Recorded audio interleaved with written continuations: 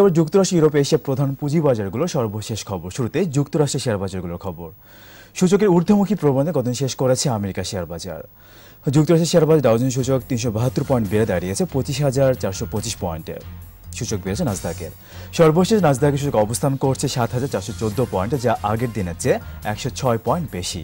ঊর্ধ্বমুখী প্রবণতা রয়েছে নিউ কম্পোজিট ইন্ডেক্সের নিউ কম্পোজিট ইন্ডেক্স একশো চল্লিশ পয়েন্ট বেড়ে দাঁড়িয়েছে বারো হাজার চারশো আটত্রিশ পয়েন্টে। ইউরোপের পুঁজিবাজারের খবর। সূচকের ঊর্ধ্বমুখী প্রবণতা গতদিন শেষ করেছে ইউরোপের প্রধান প্রধান পুঁজিবাজার। যুক্তরাজ্যের এফটিএসি হান্ড্রেড ইন্ডেক্স চার পয়েন্ট বেড়ে অবস্থান করছে সাত হাজার একশো তেত্রিশ পয়েন্টে, বেড়েছে জার্মানির শেয়ার বাজার ডেক্স ইন্ডেক্স।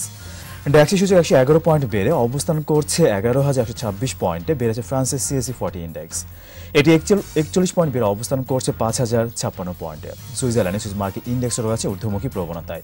সুইজারল্যান্ডের সুইজ মার্কেট ইন্ডেক্স অবস্থান করছে নয় হাজার একশো সাতাশ পয়েন্টে যা আগের দিনের চেয়ে আটান্ন পয়েন্ট বেশি।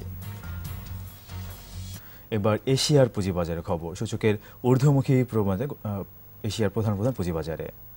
জাপানের শেয়ার বাজার নিকি সূচক তিনশো একুশ পয়েন্ট বেড়ে দাঁড়িয়েছে। একুশ হাজার সাতশো পঁচাশি পয়েন্টে বেড়েছে হংকং হংকংয়ের শেয়ার বাজার হ্যাংসেংয়ের সূচক। হ্যাংসেংয়ের সূচক দুশো ষোলো পয়েন্ট বেড়ে অবস্থান করছে আঠাশ হাজার তিনশো সাতাশি পয়েন্টে, বেড়েছে সিঙ্গাপুর এসটিআই সূচক। এসটিআই সূচক একত্রিশ পয়েন্ট বেড়ে দাঁড়িয়েছে, তিন হাজার দুশো তেত্রিশ পয়েন্টে। চীনের শেয়ার বাজার সাংহাই কম্পোজিট ইন্ডেক্স তেইশ পয়েন্ট বেড়ে অবস্থান করছে দুই হাজার ছয়শো পঁচানব্বই পয়েন্টে।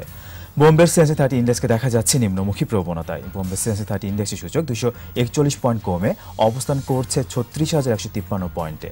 বেড়েছে থাইল্যান্ডে থাই স্টক এক্সচেঞ্জ সূচক, এটি পাঁচ পয়েন্ট বেড়ে, অবস্থান করছে এক হাজার ছয়শো সাতচল্লিশ পয়েন্টে। দর্শক, এবার নিচ্ছি একটা বিরতি, ফিরে আসব একটু পরেই, আমাদের সঙ্গেই থাকুন।